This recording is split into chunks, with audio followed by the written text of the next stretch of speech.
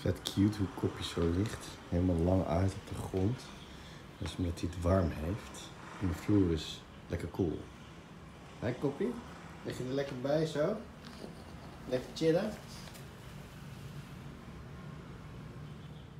Vandaag gaan we iets doen waar ik heel veel zin in heb. We gaan naar een wijk hier in Taoyuan waar ze allemaal keramiek maken op een traditionele manier. Althans, dat was de traditie van deze wijk. Ik weet niet of er nog steeds hier heel veel keramiek gemaakt wordt, maar er wordt wel heel veel verkocht. Dus nou ja, als groot keramiekliefhebber vind ik het natuurlijk fantastisch om hier te kijken. We zijn een tempeltje aan het bouwen. Welcome to street. Ja. Radical. Yes. This way, hè? Uh? Percy kon zijn auto hier parkeren bij een schooltje omdat het zondag was en de school niet gebruikt werd. En het is heel tof om te zien dat die hele muur rondom het schooltje en ook heel veel andere bouwwerken bekleed zijn met mozaïeken. En dat is natuurlijk ook wel begrijpelijk, want als het zo'n lange geschiedenis heeft van keramiek hier, dan zijn er ook altijd heel veel restjes om mee te werken en weer mooie dingen mee te maken. En dit hele gedeelte van de stad is dus ingericht voor rondom traditionele keramiek. Je hebt dus ook allemaal winkeltjes. Zoals deze. Sommige hebben hele mooie antieke fasen. Bij sommige is het een beetje kitscherigheid en zo. Allerlei verschillende dingen. Maar het is allemaal, allemaal keramiek en kunst. En zoals je ziet is het ook gigantisch druk. Het staat er wel echt onbekend. Maar hier is ook wel iets interessants. Ik zie hier dus echt een beetje een speciale galerie volgens mij. Dit is echt wat meer kunst wat ik hier zie. Modernachtige kunst ook. Ja. Ik weet niet of dit ook keramiek is.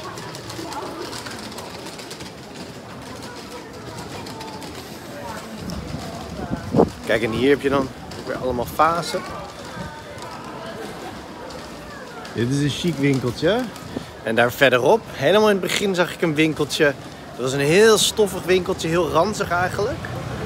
Maar daar stonden wel de mooiste, stond wel de mooiste keramiek, de mooiste beelden die ik tot nu toe heb gezien.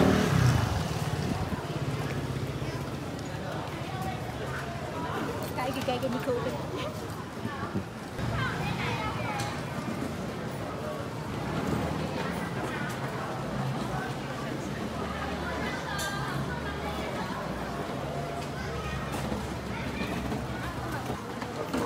Kijken. Ja.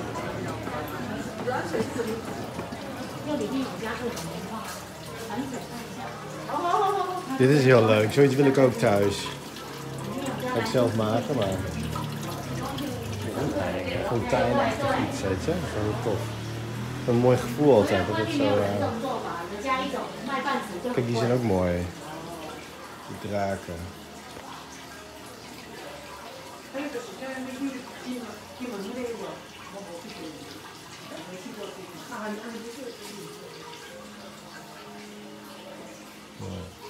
以前说柴烧会员水不一定要看腿。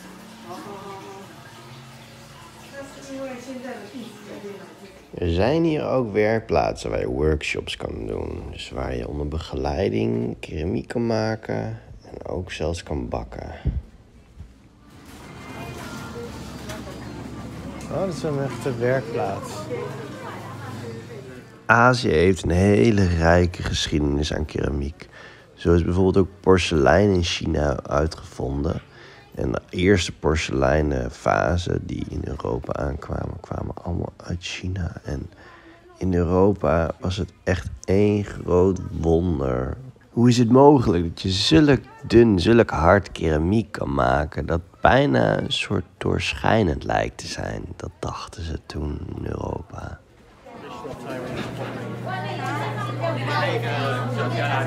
Oh. 这里用这里。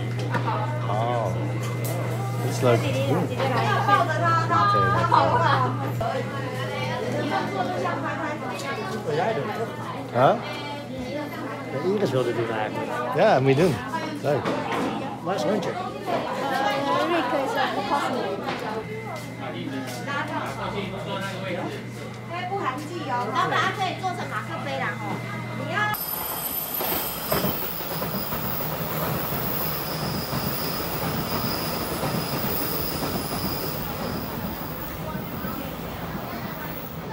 kon hier ook gewoon boetseren. Er stonden allemaal hele mooie kleine kunstwerkjes van mensen die hier dingen hadden gemaakt. Cool, hè? Ja, leuk. Kleine poppetjes. Ja, dat is wel leuk. Het is allemaal gewoon hier geboetseerd. Dat is wel tof. Is dat dan de Dit is dezelfde? leuk. Kijk hier. ja, inderdaad. Voor je sleutel of zo. hè? Ja. Is dit dezelfde klei als, eh als tot de bakker? Ja. Ja, denk ik wel. Het is gewoon aardewerk waarschijnlijk. Is het-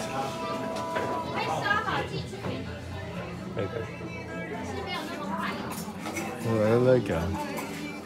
Heel bizar om te zien dat alle mensen die hier gewoon een beetje random aan het boetseren zijn, zulke gave beeldjes allemaal maken.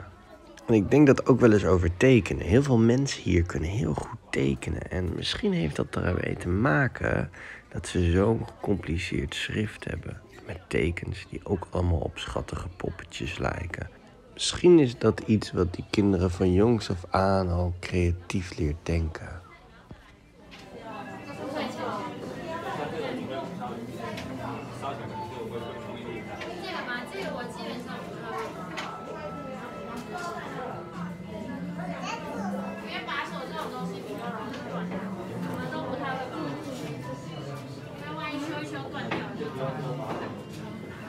Hier is ook weer een galerie. De Official Gallery.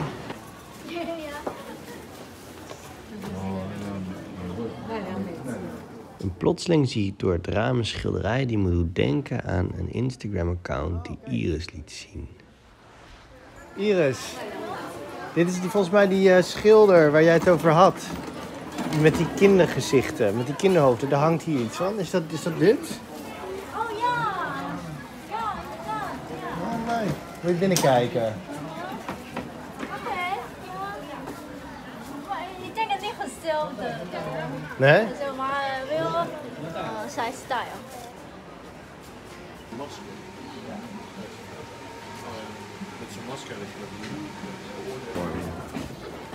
Mooie fase. Xiaoliang.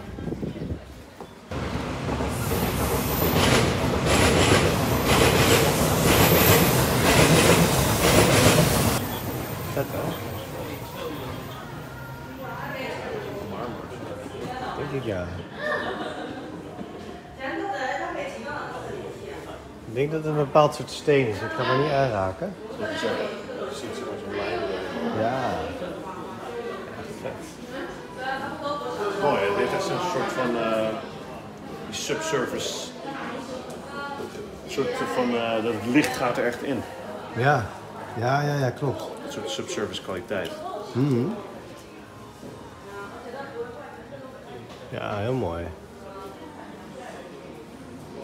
Kijk, die is ook mooi, die Boeddha.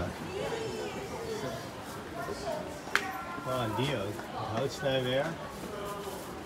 Heel vet.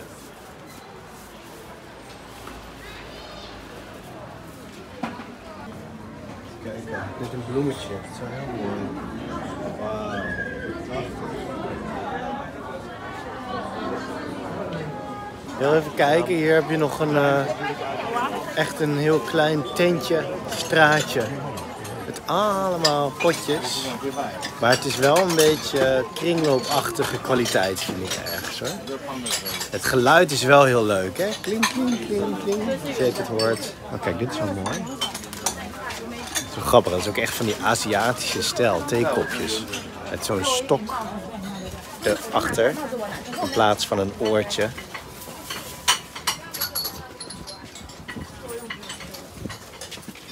Nou, het is niet echt heel, eh, heel mooi te zien. Niet heel mooi keramiek of zo, vind ik. Eerlijk gezegd. Ik wou wel eventjes hier kijken. Oh.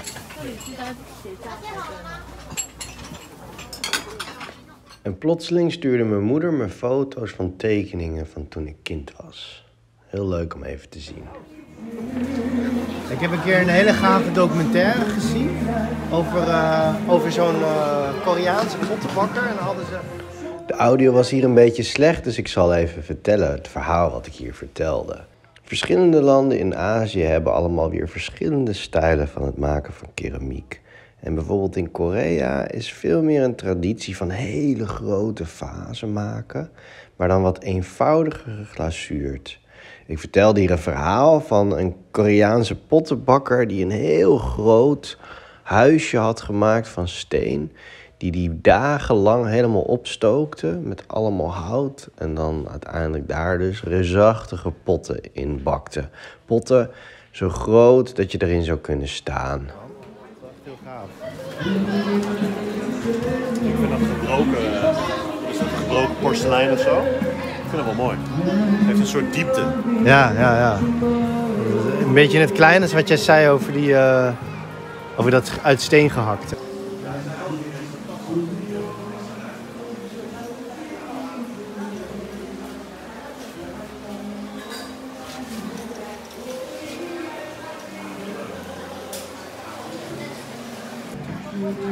Vind je dit mooi? Ik vind het leuk. Wow, nou, ik vind die, die heel mooi. Die groene, die ook, maar vooral deze. Maar ik ga het niet kopen. Vet mooi. Lampionnen. Is het nog steeds lampionnenfeest ook? Ja, wat al aan.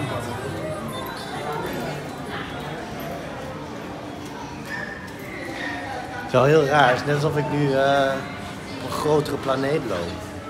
Zwaarder lopen, maar je merkt niet echt dat je omhoog gaat. Gek hè, hier zo lopen.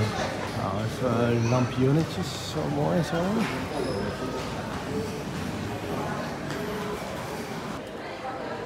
Kijk eens, de grootste, de grootste Chinese vaas die we tot nu toe hebben gezien. Groter dan Percy.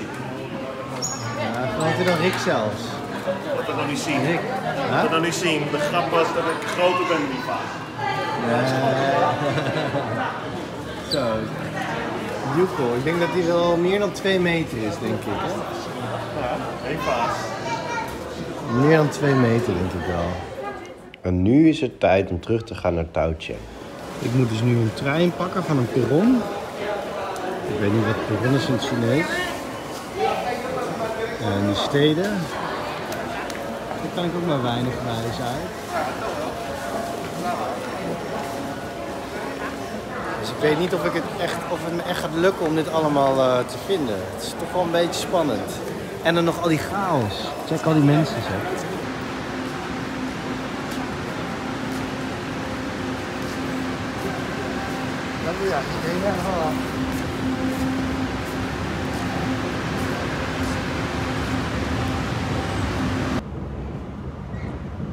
Het is me gelukt hoor. Als het goed is. Als het goed is ben ik in Tochen. En ik hoop wel dat het goed is natuurlijk. Ja, ik zie het op de bordje staan. Ik zie het op- de palen staan. Nu moet ik nog mijn hotel terugvinden. Nou ja, dat is gelukt. Dan ga ik crashen, jongen. Dan ga ik slapen. Dan ga ik keihard slapen. Echt heel diep. Iris vertelde net iets over eh, dat ik een tunnel door moest. Dus eh, vandaar dat ik denk dat dit het beste is wat ik kan doen. Hey, even. Kijk eens. Flex. Dat is een Nederlander. Volgens mij is het Flex.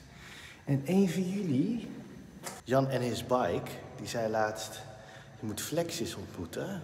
Dat is een Nederlandse graffiti-artiest. Die, eh, ja, kijk eens even. Oh, wat vet. Ah, dat is tof. Oh, leuk. In Tootsen. Flex was here. Maar goed, eh, Iris zei dat ik dus door deze tunnel heen moest. Dus dat zit goed. Wat dus ook opvalt, is wat zo chill is, is hier is het dus ehm, echt perfecte temperatuur. En dan stap je zo'n trein uit en dan is het ineens weer van, oh ja. Daarom was ik hier ook een beetje.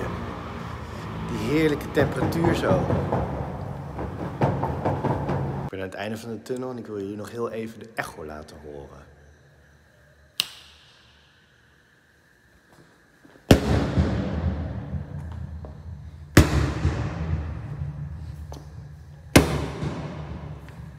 Ik weet niet of dat goed overkomt op de audio. het is echt een hele bizarre echo. Ik ben er hoor. Kijk, daar is het. Flatgebouw. Ik ben er gewoon zo naartoe gelopen op mijn gevoel. Dus eh, ja, in één stuk doorgelopen op mijn gevoel zo er naartoe. Super chill. Is het allemaal nog goed gekomen. Het einde van de avond.